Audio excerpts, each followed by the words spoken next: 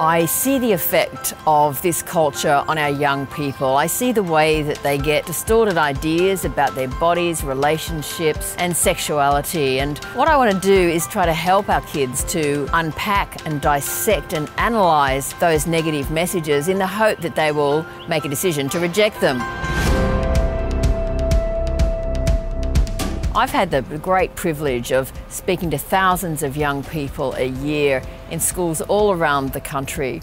And I see the effect this message has on them. They're coming to me and saying, What can we do to help change this? I have girls writing to me saying that this message changed their lives, that they decided to reject toxic messages. I don't think that we all realised what is being fed to us every single day, but as Melinda showed us these images, we were able to come aware of what the problem is and what we can do.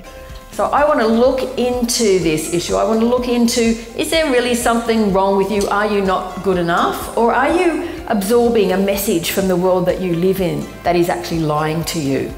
To see the way in which this particular subject has permeated in all aspects of our life was really, really well done. And I think all parents and all teachers should have an understanding of this. When I think of Melinda Tankard Reist, I think of three words intelligent, passionate, and brilliant. She is simply without peer. You couldn't have a better communicator to young people on incredibly important topics. In a society that profits from your self doubt, liking yourself is a rebellious act.